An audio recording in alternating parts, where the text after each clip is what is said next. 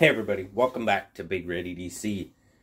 Well, today we're going to be taking a look at the O-Knife Rubato, and this was sent to me uh, very generously by our good friend Tim S. You guys know Tim, you see him all around the live streams and everything, and he is Mr. Olight as far as I am concerned.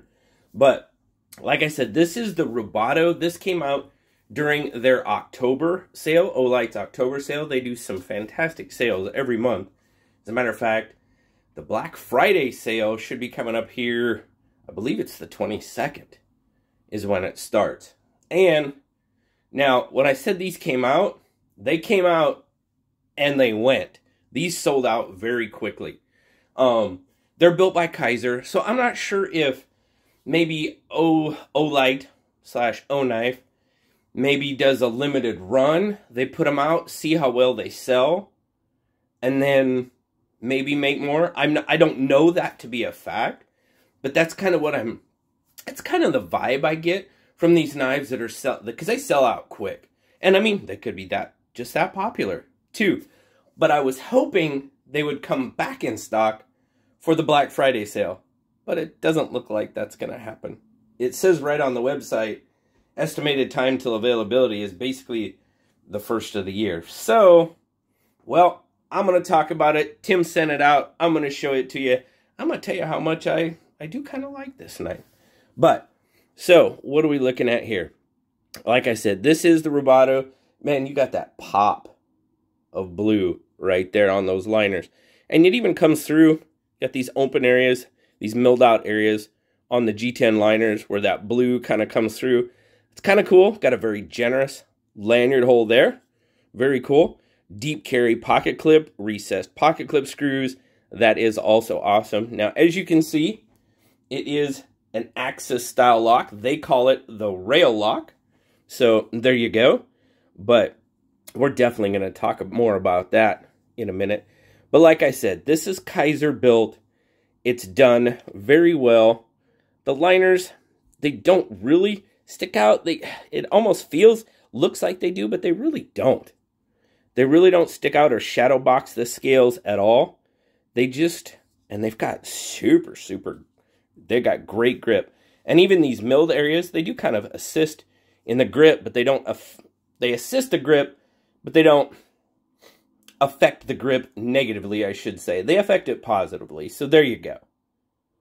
But everything is milled out, chamfered, even the milled areas are done very well.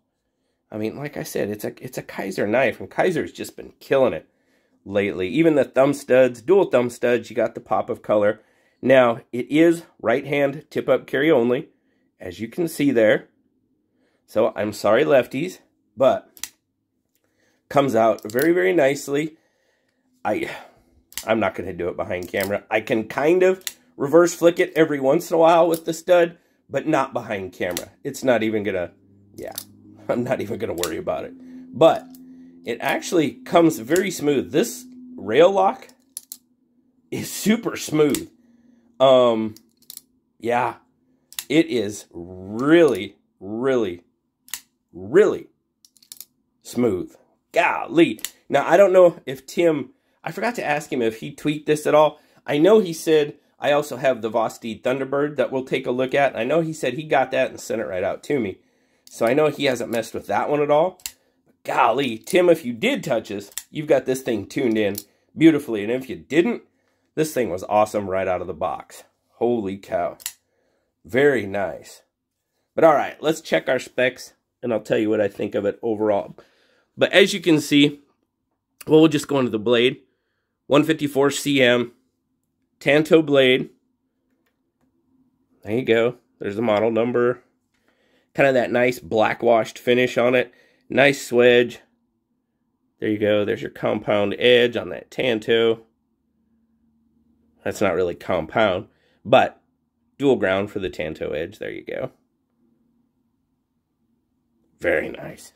All right, now let's take a look at our specs.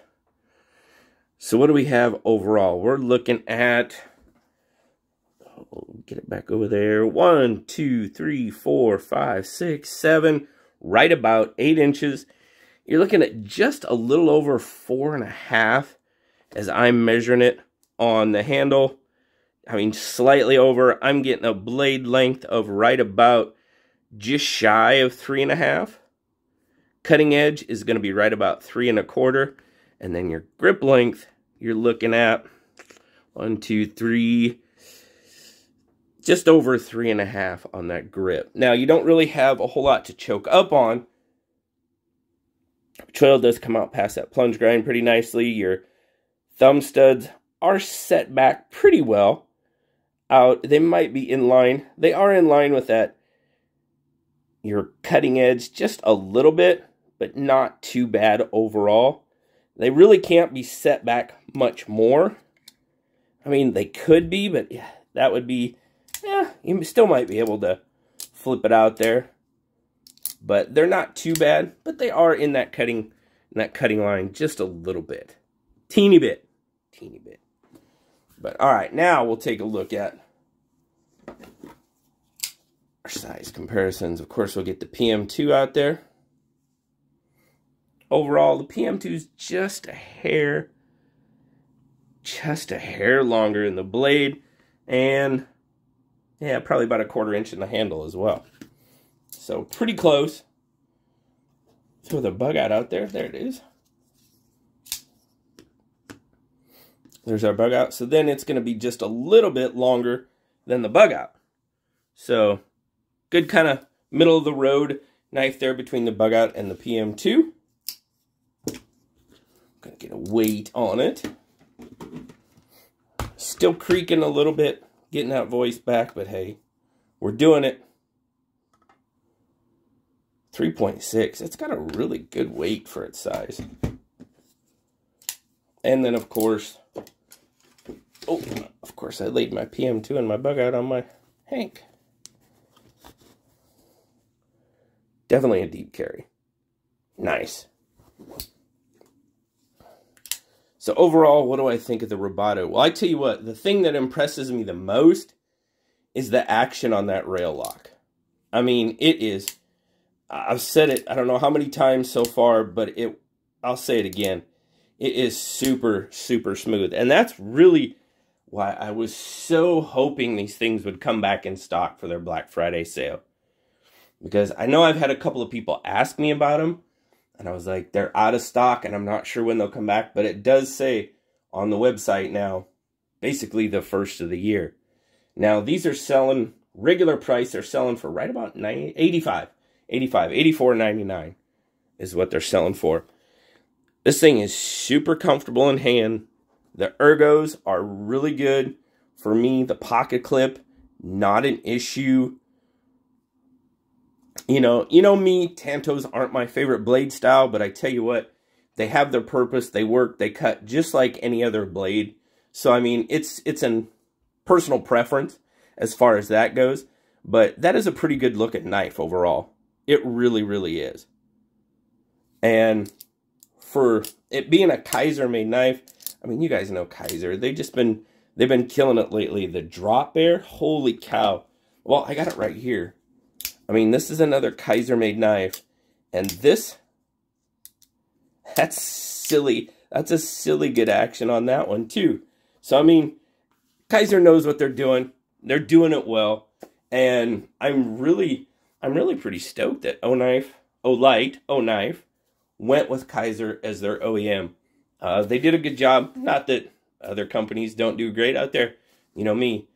I'm kind of partial to my Finch knives, and they're OEM'd by QSP, so a lot of good OEM work out there. But hey, O-Knife did a good job picking Kizer for these. That's pretty much that's pretty much all I can say. It's a really, really well done knife. And I really, really appreciate Tim loaning this one out, giving me the chance uh, to take a look at it because, like I said, I didn't get one on the sale. They sold out quick. And, well, I was kind of SOL, if you know what I mean. So hopefully, hopefully, uh, this will kind of give you guys a little bit of insight if you were wondering about it, thinking about it.